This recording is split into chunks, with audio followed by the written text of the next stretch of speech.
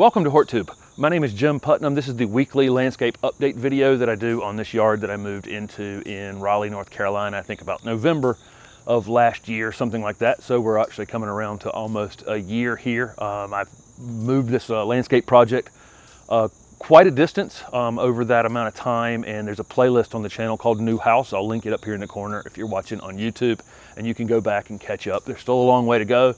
Still have a lot of plans so um, welcome, and uh, if you want to go back and catch up, you can.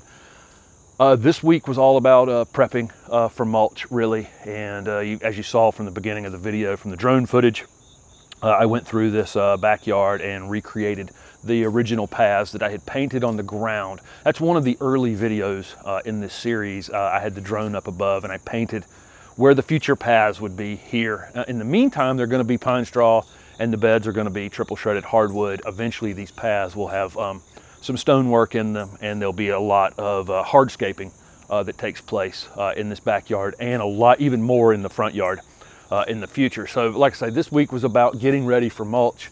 Uh, I've got the drip irrigation down that you saw in the last one of these videos uh, so that I can get it covered in mulch. It's sitting on top of the ground right now. You can probably see that from the photograph of the front yard. You can see all the drip irrigation lines out there and I wanted to get a lot of the planting done. I've got a lot of plants here uh, that are going in the ground and it's certainly better to get them in the ground before you mulch because if you do it after you mulch, you're gonna end up with dirt on top of your mulch and weeds uh, in your mulch. So there was a lot of planting done this week as well. There was um, a couple butterfly bushes went in uh, in the front and some uh, baby gem boxwoods uh, were planted out there. I've got three more baby gems um, that'll go on the same line that I planted those three on. Uh, but the grass in the front yard, I've got it a little closer to the road than I want it. So I need to go back and re-establish, recut that line a little bit. Um, I had some extra sod and I was making that space a little bigger than it was ultimately gonna be at the time. And now I'm already gonna have to backtrack and, and cut a little bit of that out, but that's okay. Uh, what else went up there? Um, two nightlight chamaecyparis uh, went in the ground. Uh, planted an Indian hawthorn, uh, a newer variety uh, out there. Um, some of these plants uh, that went in the ground out there, I already have videos for, and some of them are not re being released uh, for a year, and so it might be some period of time before I really spend any time talking about them because they're actually unavailable right this minute. Uh, there's a gold arborvitae out there that's similar to that Goldie, uh, Forever Goldie that I've shown before, but it's a one that's a little, it's going to stay a little bit smaller. Again, it's going to be released in the future, and there's a uh, an upright narrow butterfly bush that's super exciting. That's also um, going to come out in the future. Okay, so uh, that, that kind of covers the, the prep that was done for mulch. I'm actually ordering that today, so I'm hoping to have it on the ground uh, tomorrow or Friday. And then next week you'll see that. And I think when I put the drone up after I've mulched all of this space and pine strawed it, and I think you'll you'll see that uh, what I had originally envisioned is kind of coming coming together with a lot of work left, a lot of hardscaping, especially finishing a greenhouse back here, finishing, redoing a fence, lots and lots of stonework that I want to do here. And of course, continued planting. There's still lots of space here to, to plant. Um, but I, like I say, ready for mulch now. Uh, what else? Uh, I went over the planting. In the vegetable garden, I went ahead and took out my cucumbers. I've had some, uh, um, some uh, leaf related diseases uh, on those and I uh, went ahead and took those out and I've planted peas back along the fence. Uh, I've got these you know, cabbage moths. If you see these little white butterflies flying around, those are actually cabbage moths. And as pretty as they are, they do lay eggs on um, all of your uh, uh, brassicas like broccoli and kale and that kind of thing, which can do significant damage to those fall crops. And so I've planted my um, broccoli and not all of, just some of. I'm going to plant some every week. I'm just going to stage it out. Some broccoli and some kohlrabi and some beets and uh, can't remember what else, but I'm also in the process of planting kale and that kind of thing. And so those cabbage moths are a concern.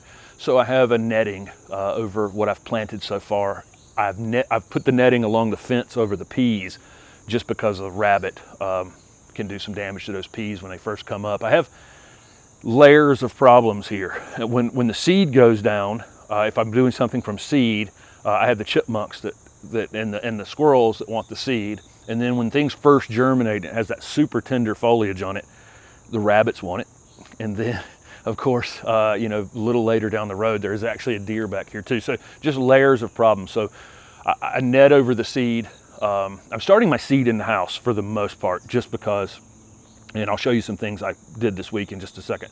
Um, I'm starting the seed in the house for the most part. That takes out the chipmunk problem and the and the squirrel problem potentially. And then I'll just I'm going to use netting, um, frost protection netting to uh, prevent the uh, rabbits from getting things until they're established. Once things are pretty established, uh, especially something like peas that grow so quick, if they're munching on them here or there, they're not going to take them down to the ground, but they would when they're first germinating. So that's the reason for that uh, that cover over there. Um, the other things uh, this week I put in uh, seeded uh, some of the lettuce for fall and other cool season uh, vegetables as well.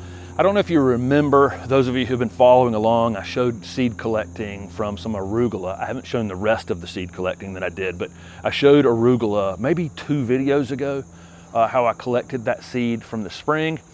Uh, the arugula seed went into a little glass jar. I was stored it in the refrigerator for a few weeks, brought it out, two days ago um, and it's already germinated. So that's kind of exciting. That was seed that was collected from arugula that was grown in the garden from last uh, winter and spring. So uh, that, that's kind of fun when, when, when you do that. Arugula is super easy to do. So, uh, and the other lettuces are too. I haven't cleaned some of my uh, lettuce seed. I have dried it out, but it was so late in the summer. I'll probably dry it out and just go ahead and plant it. Uh, but I've got some mixed uh, lettuce seed that I still have to, like I say, I still have to clean it up. But all of those fall vegetables are well underway. Here we are toward the end of August, and I want to, uh, as things come out of that um, the summer vegetable garden, um, I'll have things to uh, to go into it. The other thing I did was I planted some cosmos and some zinnias uh, that um, I'd done from seed as well in the last couple weeks. There's a couple spots in the backyard here, so should have some nice fall uh, zinnias and cosmos. That's pretty easy to do if you have seed and you're in an area in the south where we have another eight weeks or so before a potential frost, even 10 weeks before a potential frost, um, you have time to do marigolds, if you can find them, um, zinnias, cosmos.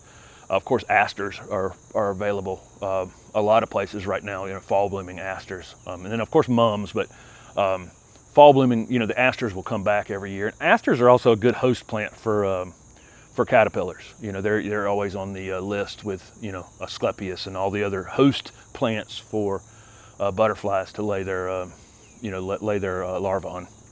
So um, let's see, I think I got most everything covered. I filled some pots here already. The, if you follow the propagation series, um, I've put four flats into that greenhouse. Two flats of stuff is already ready. And uh, the next propagation video, which will likely be tomorrow, I'm going to pot some of that stuff up that I've already done and uh, try to get a little growth on it uh, before fall. But I filled the pots for that stuff already. And I'm also filled some containers to do some of my lettuce and containers. Those of you who live in a space where you've got a bright, um, you got a sunny porch or something like that, if or you're combating rabbits, something like that, you can grow lettuce super, super easy in shallow bowls. If you go find the seed right now, you can germinate the seed in two or three days. Uh, two weeks from now, you can pot it into uh, little low bowls uh, in September and uh, be eating fresh lettuce from your own that you grew yourself uh, during the fall. So um, the, the, I use the little, sh little shallow, low bowls. They don't need a deep container. Um, lettuce won't, you know, especially fall grown lettuce won't root super, super aggressive. And so it doesn't need a lot of depth uh, to the container and that saves you a little money on soil. So, I mean, I think that is, I think that's everything. I think the next video you see right here uh, for the weekly update should be the best one so far because this place will actually look like you'll see all the crispy lines on the ground from the drone and uh, where I've been heading uh, with this project uh, all along and all the uh, irrigation lines will be covered and uh, that kind of thing. A few more things to plant and then mulch. And then after that, I'm gonna do a series of videos on all the all the plants that I've planted in here this year, maybe maybe the best 10 annuals and the best 10 perennials and the best 10 you know, shrubs. I, have got those videos planned for things that have really uh, done very, very well in the garden this year. And I'll probably point out some things that um, I probably would not uh, try again. Thank you very much for following along with these update videos and I'll be back uh, next week uh, with, like I say, a mulched yard, I hope.